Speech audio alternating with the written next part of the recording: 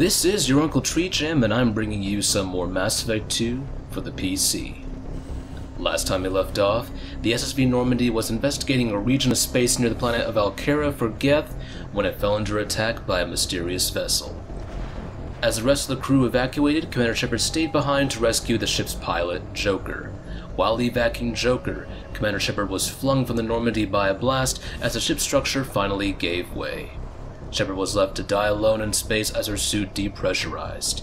Two years later, an organization named Cerberus successfully resurrected Commander Shepard for reasons unclear. She fought through groups of mechs that had been hacked by an unknown saboteur aboard the station, occasionally receiving advice from a woman named Miranda. We finally met up with Jacob Taylor, the station's chief of security. And now here we are, and we've actually got Jacob Taylor in tow. So the only thing left to do is to keep going forward. We need to try and link up with an operative named Wilson who contacted us over uh, Jacob's suit radio. Or actually I should say his Omnitool radio system. I don't even know if I'd call it a radio at this time, but... We need to find Wilson and see if we can evac the station, and hopefully run to Miranda at some point. And we'll see get to, get to see exactly who survived the station chaos, but we're not quite sure who hacked the mechs just yet, from our character's perspective. Those of you who've played Mass Effect 2 pretty much know who was responsible, but for our Commander Shepard, that answer is still just hanging out there. Sleep mode ended.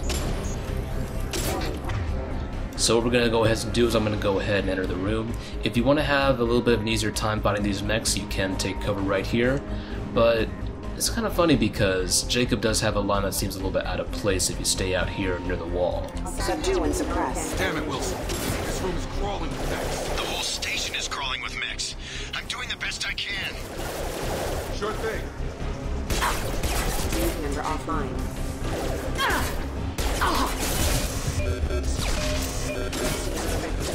Stand on!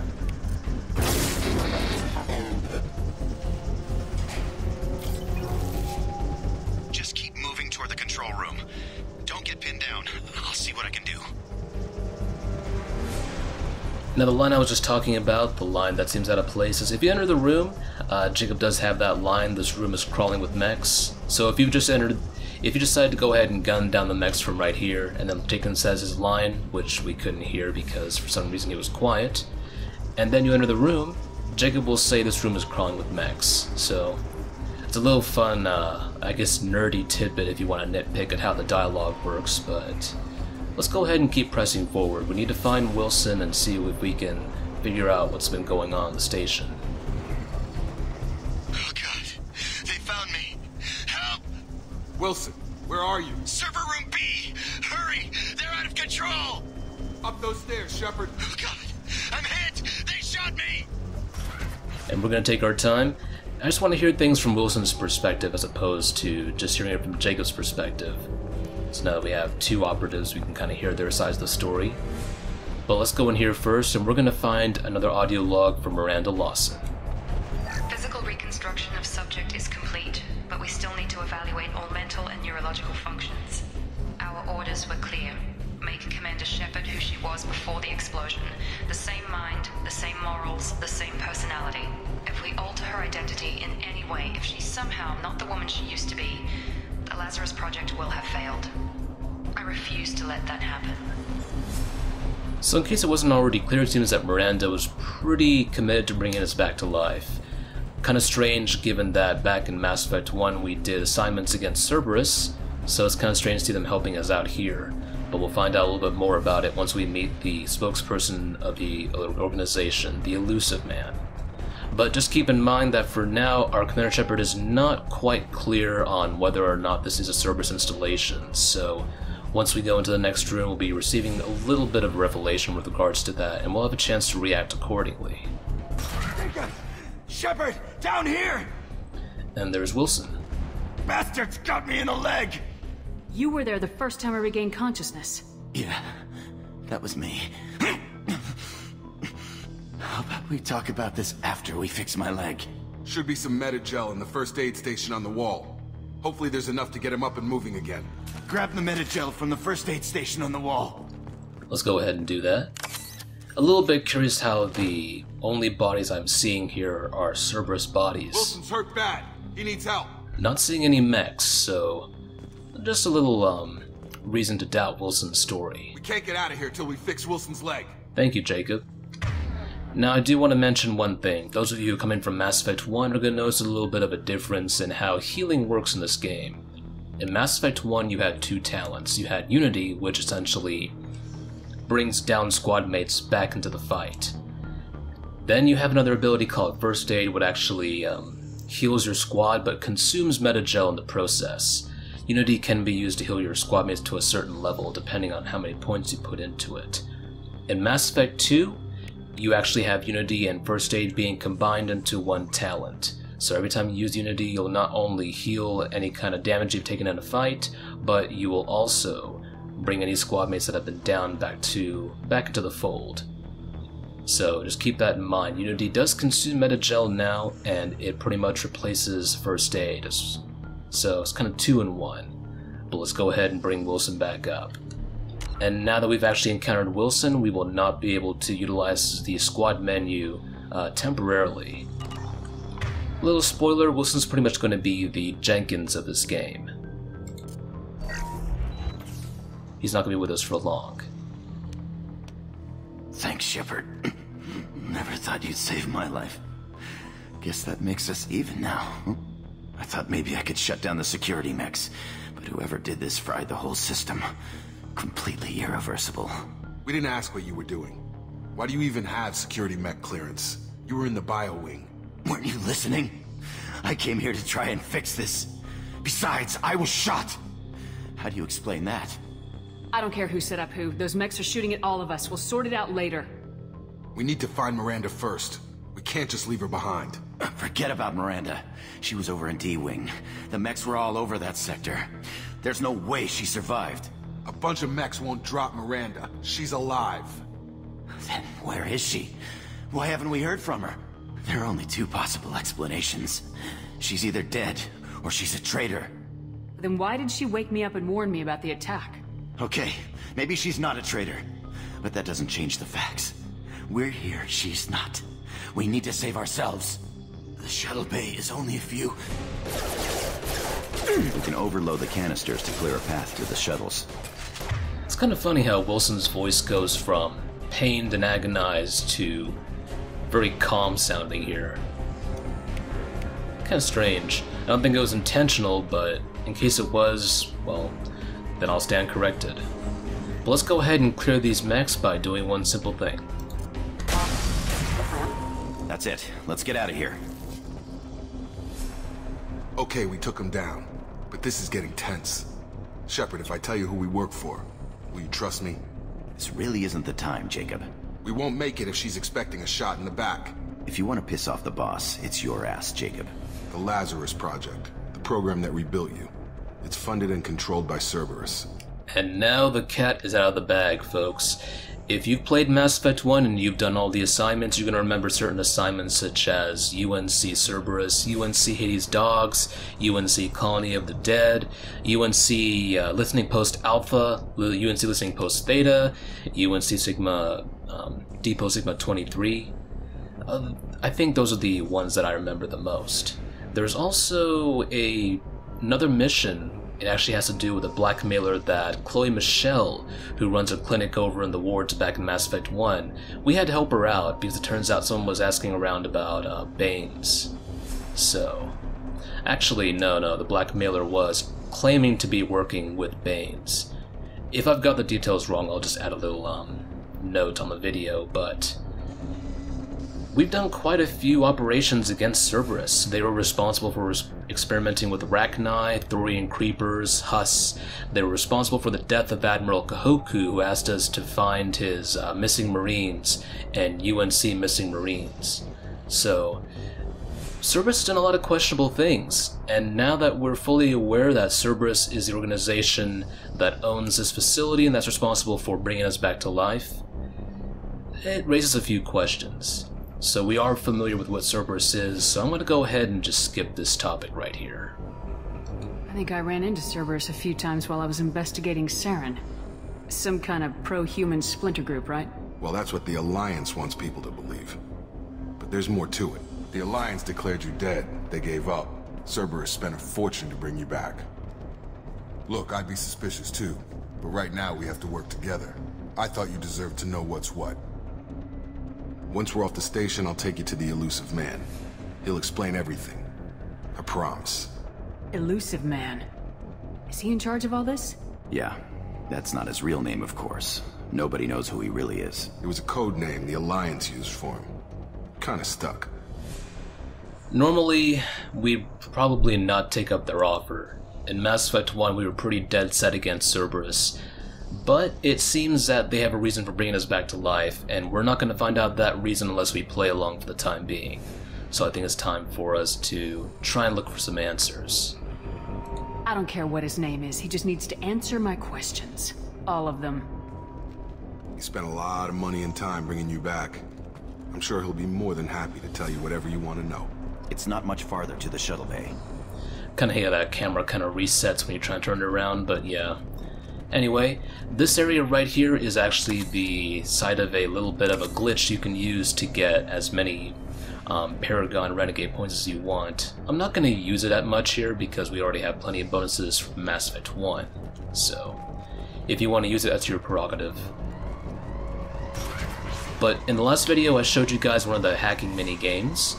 This is actually different from the Mass Effect 1 hacking mini game. Remember, if you were on the console in Mass Effect 1, you had to press uh, certain buttons in, at the right time and, and essentially in the right order. In the PC version, you had to rotate a circle, or essentially a cursor into the middle of a circle with rotating firewalls. In Mass Effect 2, one of the mini games on the saves is to match up symbols. This is the other mini game.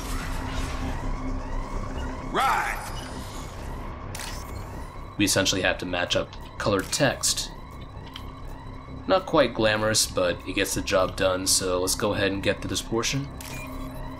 Oh, well, that one up there, I kind of missed it, but I'm not gonna worry too much. Except that our timer is going down.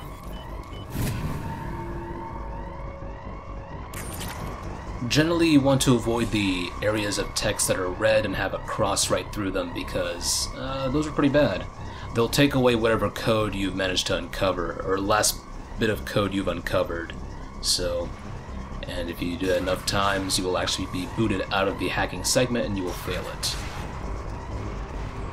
But anyway, I'm sure I'll go into a little bit more detail, but I don't think the hacking games need a, need much more elaboration than that. So, in any case, a little fun fact. Uh, you notice how Wilson's kind of limping right now? If I can find... Oh, there he is. He's kind of limping. He's got the whole animation that Joker has a little bit later in the game. Actually, for the... Whenever Joker's walking, he's going to be walking with a kind of a slump like that. But as soon as you give him a rifle, or a pistol, look at him. He's ready to go. That is some pain tolerance right there. Activating. But now that Wilson's in tow, we can go ahead and use his overload. And I'm going to have uh, Jacob do a little bit of pull on this guy. Get over here! Impact. Impact, excuse me. Oops.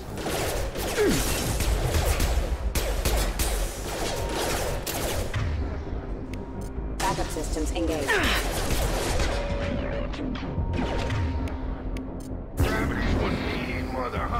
Collision proximity warning. Just a little bit out of practice, folks, but hopefully I'll get back into practice. It's been a while since I touched Mass Effect 2. But let's go ahead and keep pressing forward. We're actually just about done with the Lazarus Station. Engaging So target. Got it!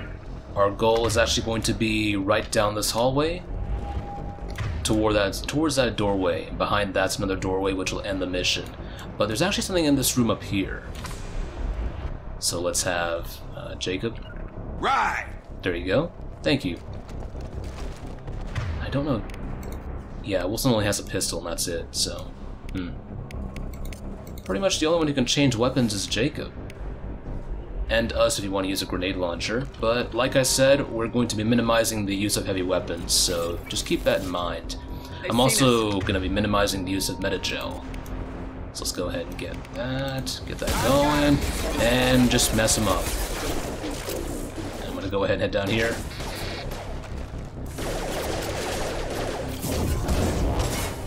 That did not target the way I wanted it to, but... Okay.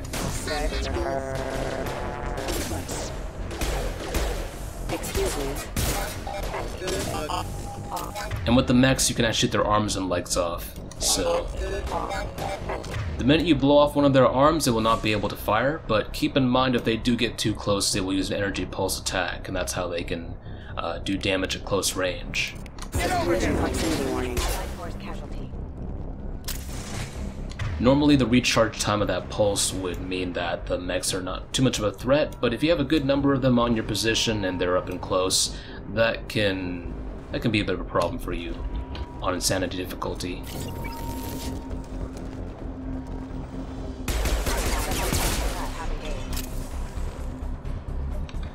Just try and get cover here. There we go. Now, let's see if I can make up for my uh, poor aim. Do this. And there we go.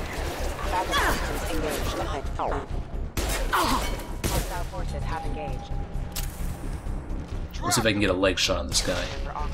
Let's see. Oh crap. Stay still.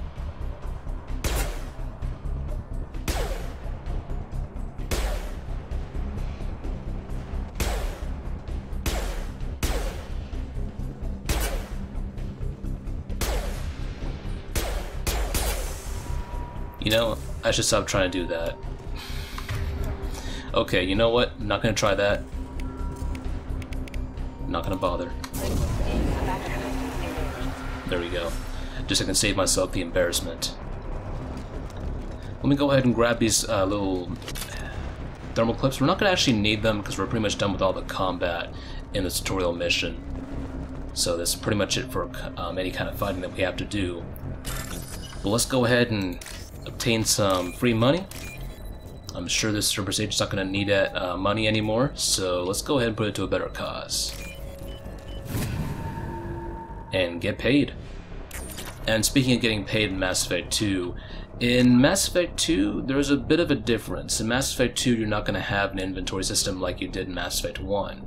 Mass Effect 1 had you collecting armor, um, uh, different suits of armor, different weapons, different mods for suits and weapons, for mods for grenades, uh, different Omni tools, different bioamps. That's gone. In Mass Effect 2, you get a few weapons, weapons that you cannot sell. And you basically upgrade those weapons by doing the appropriate research project for them. So, that's a bit, it's a bit different from what we're used to in Mass Effect 1. Makes me kind of wish, uh, miss the days of being able to make a whole lot of money. I think in Mass Effect 1 I managed to in one playthrough I could easily max out my credits and get the pretty much the cap for credits in the game, which is 9999999. 9,999,999 credits.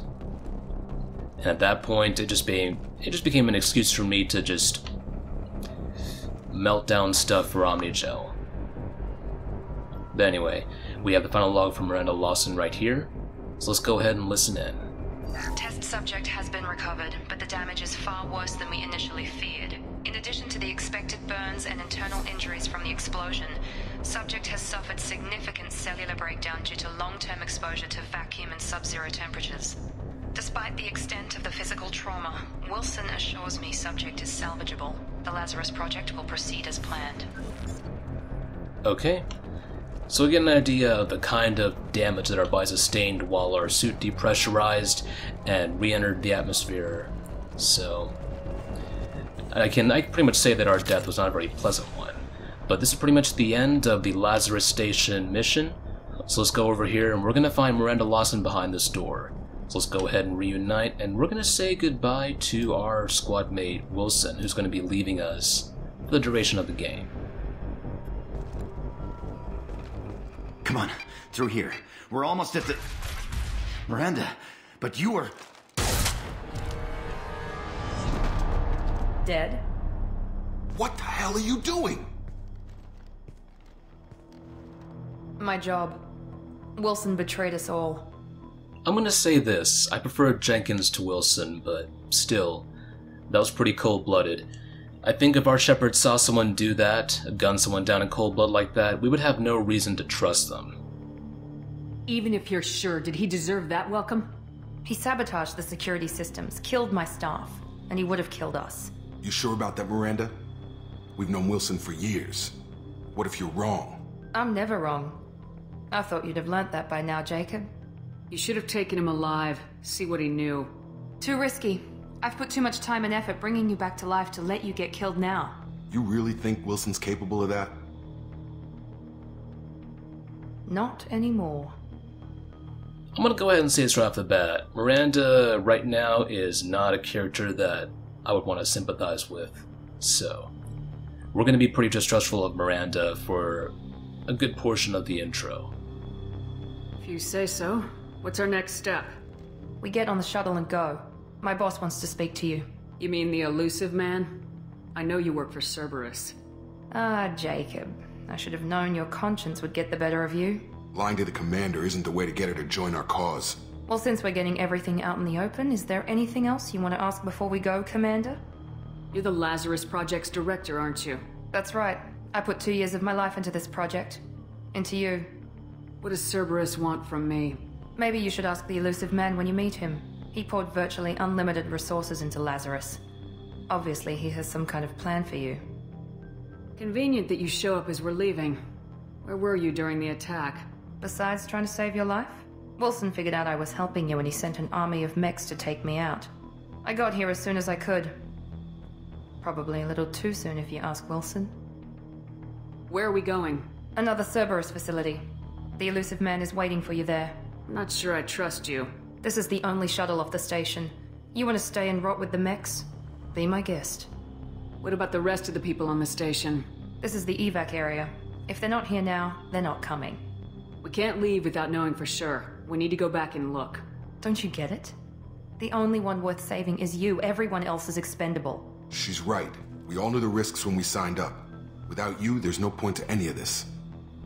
Well, it seems that we're not going to get anywhere by questioning Miranda. I think it's time for us to move on, just get off the station, and see what the Illusive Man wants with us. I've had enough of this station to last a lifetime. Or two, in your case. Come on.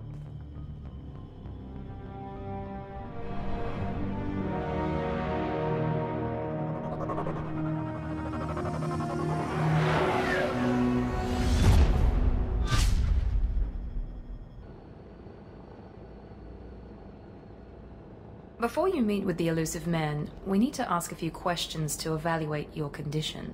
Come on, Miranda, more tests? Shepard took down those mechs without any trouble. That has to be good enough. It's been two years since the attack. The Illusive Man needs to know that Shepard's personality and memories are intact. Ask the questions. Now, Jacob did already tell us that we had spent two years on an operating table. Relatively, I think about two years. But we're gonna go ahead and ask the question anyway. Just cuz. Did you say two years? I've been gone that long? Two years and 12 days. And you were on an operating table for most of it. The sooner we start, the sooner we can be done. Start with personal history. Okay. Records show you were a colony kid. Lost your parents when slavers hit Mindoir. You enlisted and you survived a Thresher Maw attack that wiped out the rest of your team. Do you remember that? This is actually referencing our character's chosen story in Mass Effect 1. We chose the colonist background and we also chose a Sole Survivor background. And since we are a mostly Paragon character, for this one I'm going to go ahead and choose the appropriate response. I lost a lot of friends that day. Going through something like that changes you. It can break you if you let it. I read the report. 50 Marines died on Akuze. You were the only one who lived. Satisfied, Miranda? Almost. Let's try something more recent. Virmire, where you destroyed Saren's cloning facility. You had to leave one of your squad behind to die in the blast. Gunnery Chief Ashley Williams was killed in action. It was your call. Why did you leave her behind? And if you remember Mass Effect 1, we did have to leave Ashley behind. I ended up taking Kaidan with me. Uh, Kaidan was the one I sent with the STG Captain Kirrahe, and I felt that it was appropriate to bring back the person I'd sent with the STG, so unfortunately we did have to save Kaidan and leave Ashley with the bomb site. I left a friend to die that day and I didn't do it casually. but I had to save as many people as I could. Ash gave her life for the rest of the team. Without her, I couldn't have stopped Saren. She died a hero. I understand, Commander, and I wasn't judging your decision. Everybody at Cerberus knows that cloning facility had to be destroyed. Shepard, think back to the Citadel, after the Alliance saved the Destiny Ascension and you killed Saren. What happened next? This is actually going to be a very strange dialogue option for us. Um, because the way it works in Mass Effect 2, regardless of whatever decision you've made in Mass Effect 1, whatever import you use, it doesn't matter. Your response here will dictate who is Councilor for the rest of the game. In Mass Effect 1, we chose Anderson to be Councilor. Now let's go ahead and affirm that decision. Humanity was offered a spot on the Council. I recommended Captain Anderson for the position. Yes, Captain Anderson is now Councilor Anderson. Though from what I hear, he preferred life in the military. Still, good to know that the human council member isn't going to put politics ahead of defense. Your memory seems solid. There are other tests we really should run. Come on, Miranda. Enough with the quizzes. The memories are there, and I can vouch for Shepard's combat skills personally. I suppose you're right. We'll have to hope the Illusive Man accepts our little field test as evidence enough.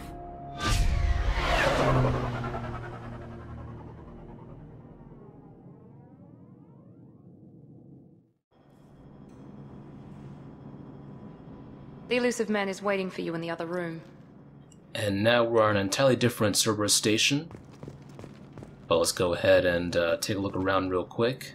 I wouldn't keep the Illusive Man waiting. We're not going to be able to get much in terms of conversation from Miranda or Jacob until we have a conversation with the Illusive Man. The Illusive Man is waiting for you in the other room. Let me go in and change my armor's appearance real quick, and I think I can pre- make make this pretty um, fast, so not gonna have to worry about doing a lot of this off screen. So let me just go ahead and quickly change this stuff up, make it seem a little bit more official. And I'm gonna want to change that color scheme because I'm telling you, that color scheme is just not doing it for me. It's not happening, folks. But let's go ahead and get that camo pattern going. And I want to get a little bit of... Eh, there we go. I think that's alright. Yeah, I think we're looking pretty good right now. Let me see if I can get this. There we go. Alright, we're done. Pretty quick, easy, and there we go. Let's go ahead and talk to the Illusive Man, and we're going to find out more about why he brought us back, given the history that we had with Cerberus in Mass Effect 1.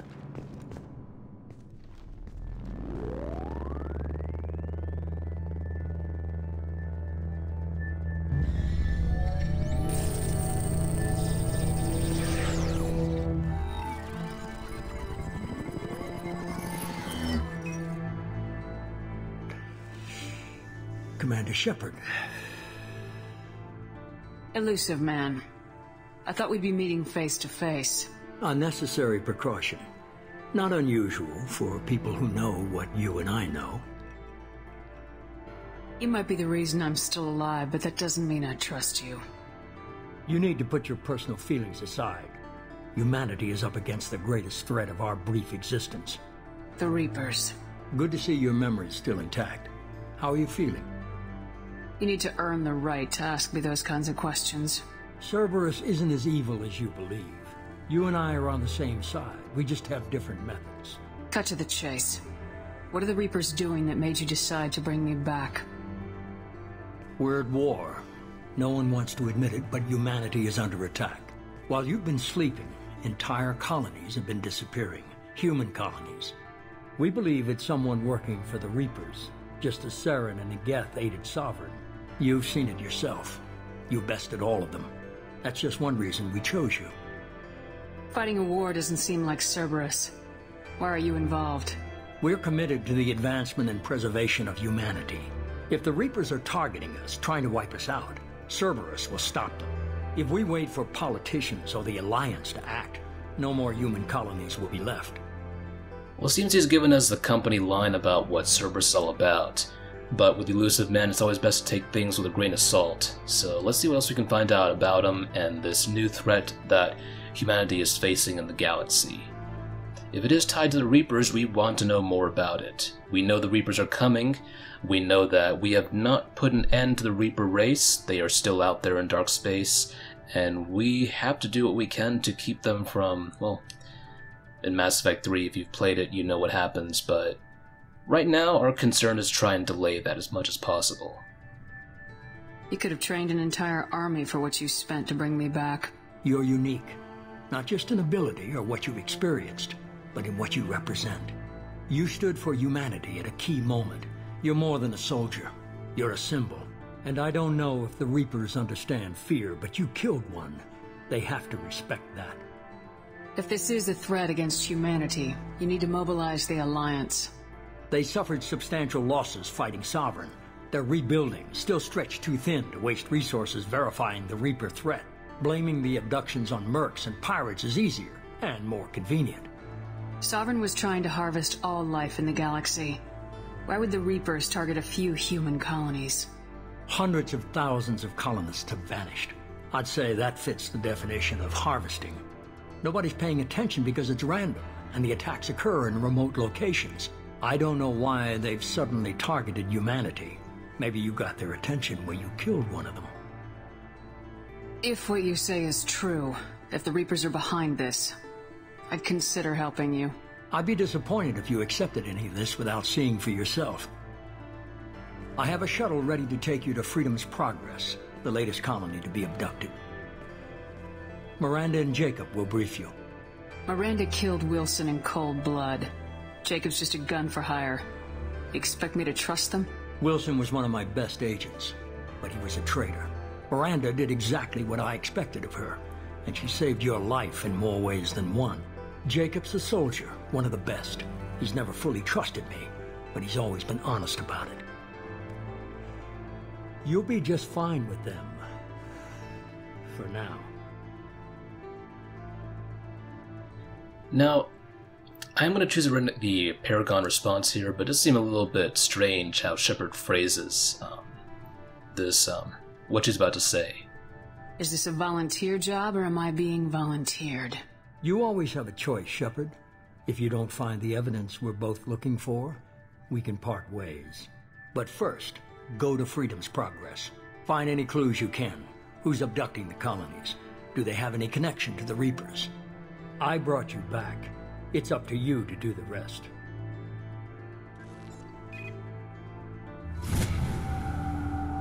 Now, I have, I think in the, either in the previous vid or maybe the vid before that, no, no, actually, you know what? Um, the previous vid, we only had one episode.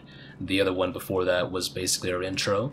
But I did reference the collectors. We don't quite, from a perspective of our commander Shepard, we don't know what the collectors are. We don't even know if they're responsible for the attacks. So, a lot of this is actually going to be news to our commander Shepard. But as an audience member who's played the game um, many times before, I think I already know who's responsible. But for now, we can go ahead and talk with Miranda and Jacob and get a feel for their characters and understand where they're coming from. The Illusive Man is very impressed with you. I'm eager to see if you can live up to his expectations on this mission. Now, I think our character is still going to be pretty wary about Miranda. She did gun down Wilson in cold blood, and she is still loyal to Cerberus, and Cerberus has done very questionable things during the events of Mass Effect 2, uh, Mass Effect 1 and I believe that they're still doing a lot of questionable things in this game during the timeline of 2185, so I think we have very little reason to put complete faith in Miranda. I can't have anyone disobeying my commands when we get there. I know who I report to. As long as you don't do anything to betray Cerberus, I'll follow your orders. We will be a little bit more cooperative in tone with Miranda later on, but for now, I think uh, we're going to still uh, maintain a bit of a professional stance. Actually, you know what? We're not going to be that professional. We're just going to be distrustful. What's the matter, Lawson? Worried you're not his favorite anymore? I've proven my value to the Illusive Man. Let's hope you're able to do the same. Are you naturally this bitchy, or is it just me? I have the utmost respect for your abilities, Shepard. It's your motivations that concern me. I believe in what Cerberus stands for, only time will tell if you prove to be an asset or a liability to our cause. Tell me a little about yourself. Worried about my qualifications? I can crush a mech with my biotics or shoot its head off at a hundred yards. Take your pick. Did you and Jacob serve together in the Alliance? No, the Illusive Man recognized my potential and recruited me at a young age. How old were you? Old enough to know this is what I wanted. I was trying to get to know you as a human being. I'm not looking for a friend, Shepard. Stay focused on the mission. I'd like to know more about the Lazarus Project from the person in charge. I wasn't in charge. The Illusive Man was. If I was running the show, would have done a few things differently. What would you have changed? To start, I would have implanted you with some type of control chip. But the Illusive Man wouldn't allow it. He was afraid it might affect your personality, alter your character somehow. He wouldn't let us do anything that might limit your potential in any way. Can't say I like the idea of being brought back to life with a control chip in my brain. The Illusive Man is taking an incredible risk with you. I just hope his gamble pays off. What can you tell me about this colony we're going to? Freedom's Progress? It's a typical human settlement in the Terminus systems. They had a small military force for protection supplemented by mechs and security drones. Average in almost every way, really. Completely unremarkable. Until the disappearance. Any thoughts on what we might run into there? A lot of empty buildings and one giant mystery. It's obvious you're not interested in talking. We've got an assignment. We can talk about it or we can do it. Uh, two things I want to mention real quick. Um, in my introduction video, I did mention it's going to be a mostly Paragon character. We are going to make some rene renegade choices here and there, but only when we feel that it's necessary. There are going to be the majority of it's going to be Paragon, but there will be some renegade choices if I feel that it is required in order to achieve the kind of character that I want to build here in Mass Effect 2. And also, I really gotta question Miranda's logic. If we're doing a mission on a colony in the Terminus systems, I'd kind of like some additional intel, like um, building and structure layout of an entire colony, looking at a diagram, maybe a blueprint of how the colony is um, arranged, looking at areas that are vulnerable to attack, infrastructure, uh, anything that's necessary in order to understand where a colony's weak points might be. I kind of want Miranda to give me that information right now, but I don't know. I guess planning was a little bit a little bit shit for this mission. But it seems that Miranda is at least aware of the basics of the colony.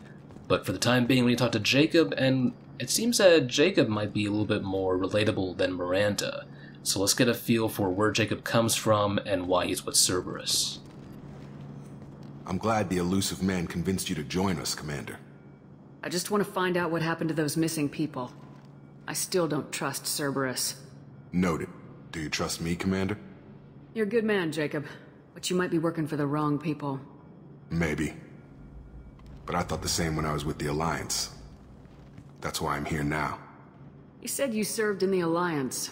Five years in total. Stationed all over the galaxy. Even spent a couple of years as a Corsair. I've never heard of the Corsairs. It was an Alliance initiative. They hired independent starship captains and used them for missions that fell outside official Alliance jurisdiction.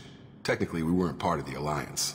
If we ever got caught, they could disavow any knowledge of us. We were supposed to be free from restrictions and rules, but there was still enough red tape to sink a cruiser. I finally just gave up. Why did you join Cerberus? I guess I just got tired of never making a difference. So much of what we did in the Alliance seemed pointless. I thought things would change after the attack on the Citadel. Humanity was finally invited to join the Council, but nothing changed. Politics, bureaucracy, same bullshit, different leaders. Cerberus is different. When colonies go missing, we don't commission a team to write a report to figure out what the hell to do about it. We just go and find out.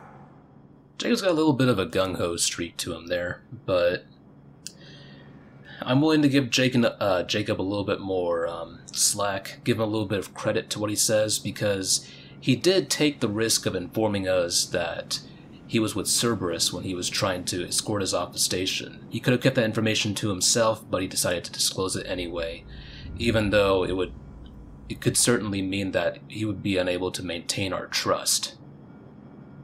Do you know anything about this colony we're going to? It's called Freedom's Progress. Don't know much else. I guess we'll find out when we get there. That's all for now.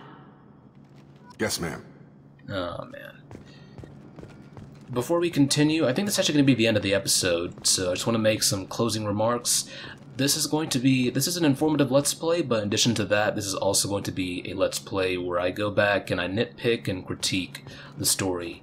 And if there are moments where I feel that the story really uh, stands out in a very weird way, if it feels like the writing seems off, if something really pulls me out of the moment, I am going to be commenting on that and criticizing the game. So uh, just keep that in mind, folks. It's not all going to be. We're not going to be showering this game with praise. For me, out of Mass Effect 1, 2, and 3, I believe that Mass Effect 2's main narrative had a lot of um, a lot of issues with just how much it takes a backseat to your relationship with the side characters in Mass Effect 2. And I kind of wish they did a little bit more with the main story, but it's well past the fact, so the only thing I can really do is uh, criticize and comment. But I believe that's it, folks. Uh, next time we pick up, we're going to be heading over to Freedom's Progress, and I'm still a little bit irked that Miranda didn't give us more information on Freedom's progress and the layout of the colony. Kind of seems important to have these details when you're about to do a mission there, but oh well. I'm sure she'll fill us in during the shuttle ride. But let's go ahead and make a save. And I'm gonna go ahead and just tone down the critical nature of my, um, I mean, I do want to criticize a lot in this game, but I'm gonna try and tone it down for uh, the intro. Once we get into character backstories, I'm gonna start putting on that uh, uh, critique hat, start going through and tearing apart where I feel it's necessary. But anyway, I'm done talking, folks, so let's go ahead and close out here. This is Great Tree Jam, and I wish you guys a happy day, night, evening, afternoon, wherever you may be in this universe or the next. Next time, we're going to be investigating the disappearance of colonists at Freedom's Progress and see if we can find out if there's any connection to the Reapers. But for now, thank you for tuning in, and I will see you guys next time.